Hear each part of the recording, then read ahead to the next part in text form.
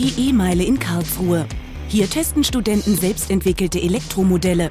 Mit dabei Fahrzeuge, die ohne große Batterie auskommen, genau wie das E-Quickie. Es zieht die Energie aus Leiterbahnen am Boden. Solche Elektrofahrzeuge sind unabhängig von einer Steckdose und fahren fast wie Straßenbahnen. Professor Jürgen Walter ist der Motor der geistigen Bewegung und Spezialist für Elektromobilität.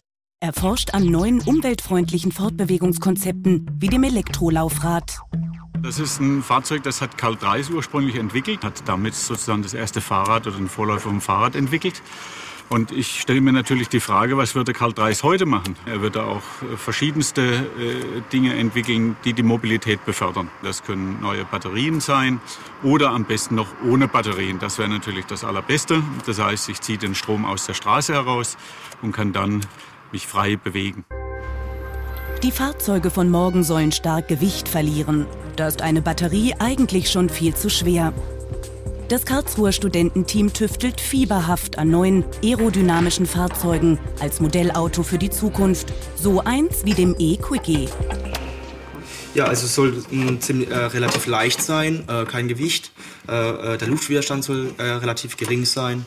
Und das sind so die wichtigsten Komponenten eben, äh, um das zu gewährleisten, dass ich wenig Energie eben brauche, um das in das Fahrzeug einzustecken. Die wenige Energie, die es noch braucht, zieht das E-Quickie dann kontaktlos über Leitung aus dem Boden. Das funktioniert über Induktion, wie bei einer elektrischen Zahnbürste oder einem Induktionsherd. Die Energie wird von einem Drehstromnetz äh, gewandelt und an Leiter übertragen, die im Boden liegen. Und das hier ist der Übertragerkopf, der ist unterm Fahrzeug angebracht.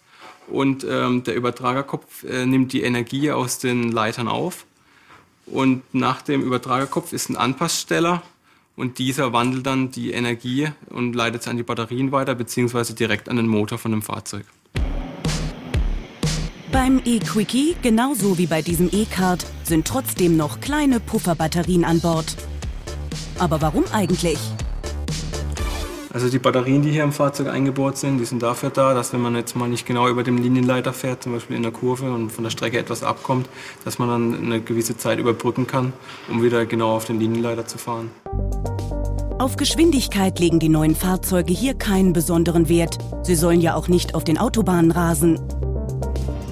Das Auto der Zukunft ist für mich leicht, leise und langsam.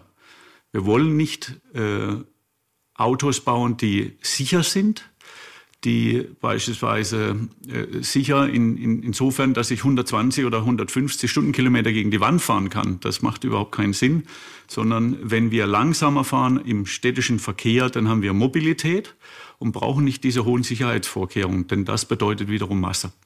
Wenn wir maximal 50 Stundenkilometer fahren, haben wir Konzepte, um da genauso sicher zu sein wie mit bisherigen Autos auch. Besonders leicht macht das E-Quickie die Verkleidung aus Carbon. Für die Aerodynamik haben die Studenten einen virtuellen Windkanal programmiert. Damit konnten sie das Fahrzeug so windschnittig wie möglich bauen. Die Elektromodelle von morgen sind also vor allem energieeffizient. An ihren Anblick müsste man sich allerdings noch ein bisschen gewöhnen.